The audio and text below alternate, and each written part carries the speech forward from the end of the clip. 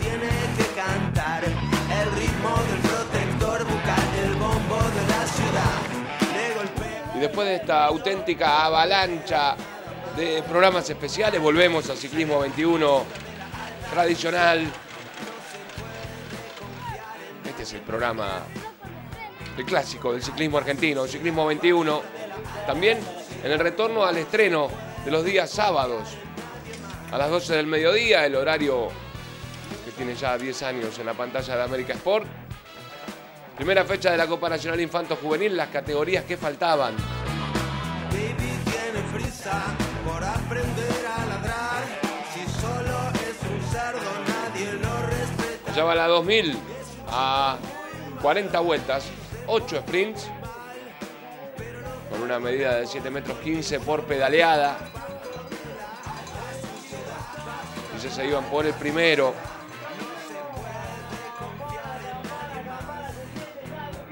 Estábamos en Belén, Catamarca, ya se corrió la segunda, fue en Quimilí, Santiago del Estero y la veremos por supuesto aquí en Ciclismo 21. Escapada la primera del día. Era para Joel Morales que sumaba de a 5, Ocaña, Velázquez y Santillán.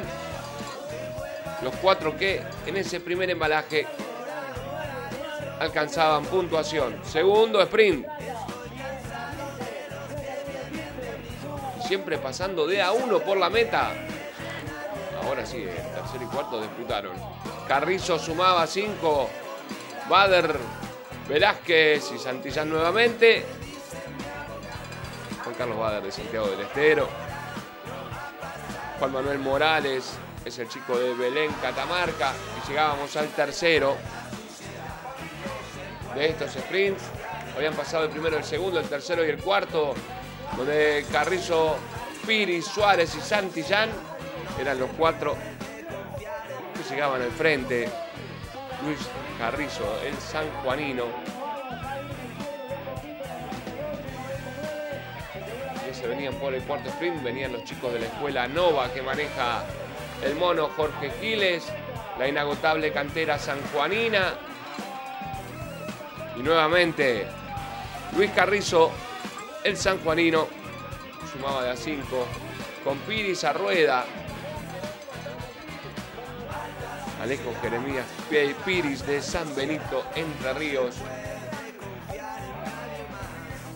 Y toda la zona del litoral atenta porque estaremos en la nueva señal para Ciclismo 21, mientras Santillán era el que pasaba adelante con Suárez, Carrizo y Piris en la cuarta colocación. La fuga de cuatro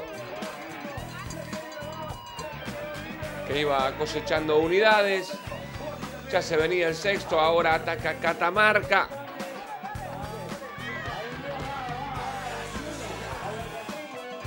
Y repetía Bader los cinco puntos para un final bien parejo.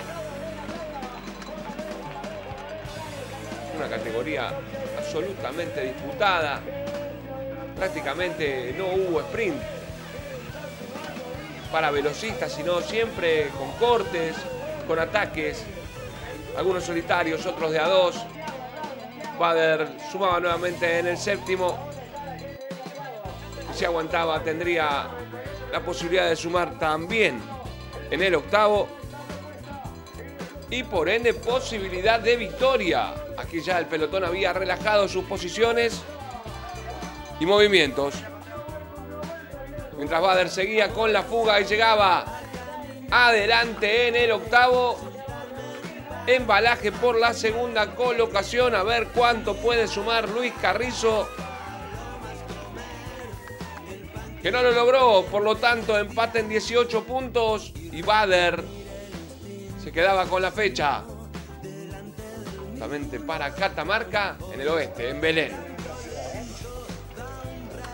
Y aquí la última, la Junior, la 98-99. Chicos, buena parte de ellos, los años 98, dejarán el infanto juvenil. El año que viene.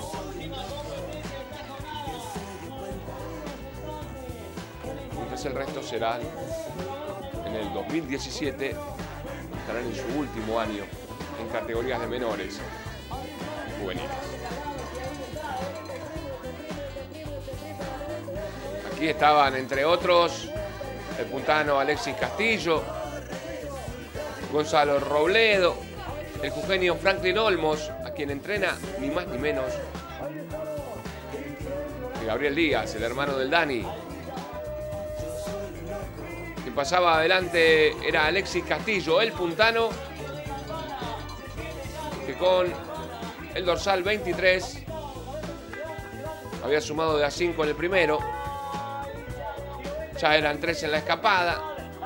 Ahí viene Castillo nuevamente pero se iba a adelantar Gonzalo Robledo, otro sanjuanino, delante justamente del Puntano Castillo. Y en la tercera colocación Facundo Sosa, con esas remeras fluorescentes, verde y negras, que identifican a la escuela Esfuerzo, Resistencia, Sacrificio, que maneja el padre del negro Godoy. Escuela en San Luis, también puede tener algo que ver la sigla con Ramón Sánchez el gran entrenador que tiene el Continental de San Luis. Seguía la fuga de tres integrantes, Castillo, Sotomayor y Facundo Sosa. Buscaban ya el cuarto sprint y con intenciones sobre la general de una carrera que iba sobre 10 embalajes. Todo esto ocurría en el oeste catamarqueño, en la cuna del Poncho, en Belén. Ese circuito lo inauguró el gobierno, la municipalidad, junto a Ciclismo 21 hace ya unos cuantos años. El quinto sprint cambiaba de nombres.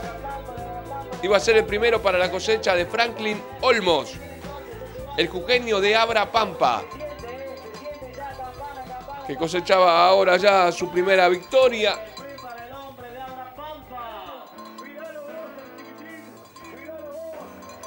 decíamos, entrenado por Gabriel Díaz, que tiene unos cuantos pibes con futuro allá en su provincia, en Salta.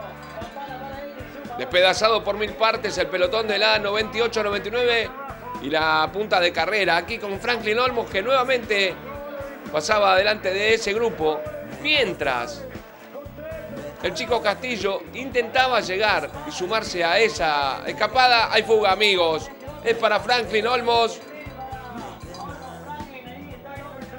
Con el 33 en la espalda va Franklin Olmos a buscar la vuelta de ventaja que le dé el triunfo. Apura el paso del pelotón que perseguía.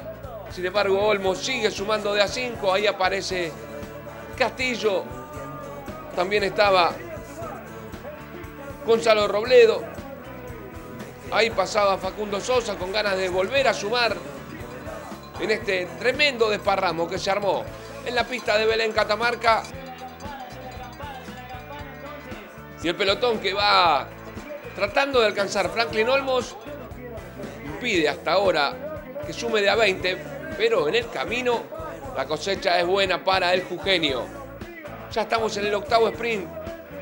Esta es la segunda colocación a favor de Alexis Castillo. Y esta es la fuga de la carrera impresionante actuación de este chico Olmos. Decíamos, uno de los chicos a seguir.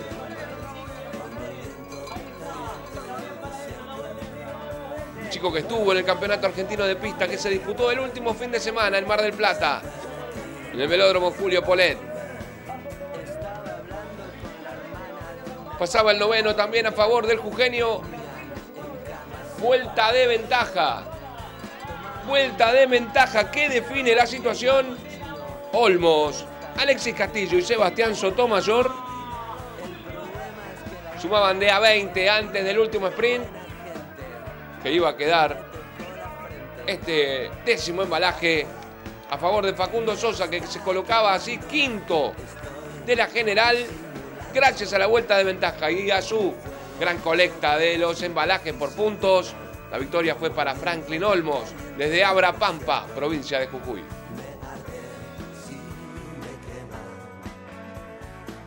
Estos chicos cada vez que pedalean, cada vez que suben a bici, están dando un mensaje a toda la sociedad, a todo el país reunido, porque hoy hay, eh, hay provincias de todo el país.